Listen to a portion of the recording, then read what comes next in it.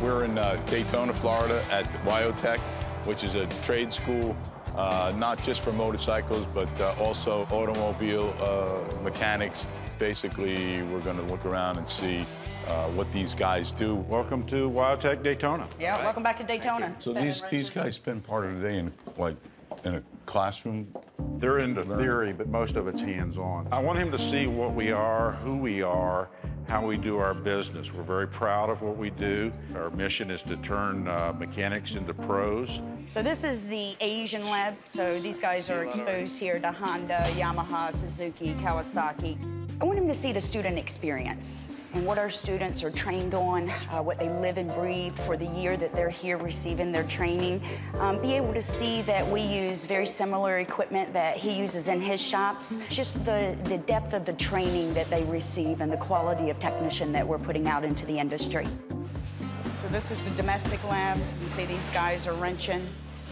How you doing? Good. You know what you're doing? Yeah. Good. Tell me doing it wrong. You do, yeah. Doing it wrong. You're not doing it fast enough.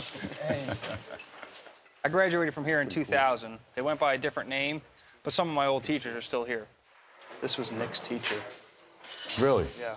Feels good to be back in Florida, you know? It brings back a lot of memories. It's been quite a few years since I've been here, but it's, it's, it's good to see where I started off and where I'm at now.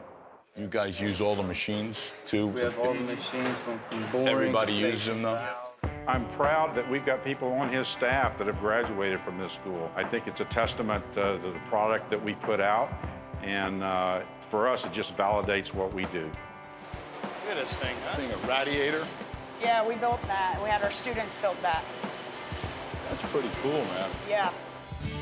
So I'm really impressed by everything I saw here, and I think that uh, uh, it's going to be uh, pretty cool to go back and do uh, a bike for these guys uh, that are really uh, kind of bike savvy. So it's kind of uh, more of a challenge for us. Thank you very much. Thanks for having us.